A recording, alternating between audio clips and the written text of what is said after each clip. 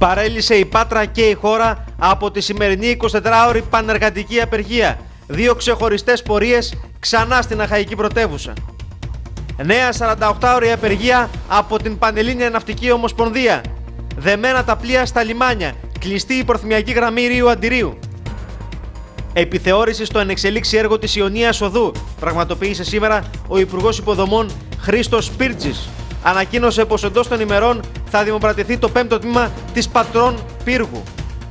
Διήμερη περιοδία στην Ετωλοκαρνανία από τον βουλευτή της Νέας Δημοκρατίας και το μεάρχη υποδομών του κόμματος Κώστα Αχηλέα Καραμαλή. Τι είπε αποκλειστικά στο Λεπάντο.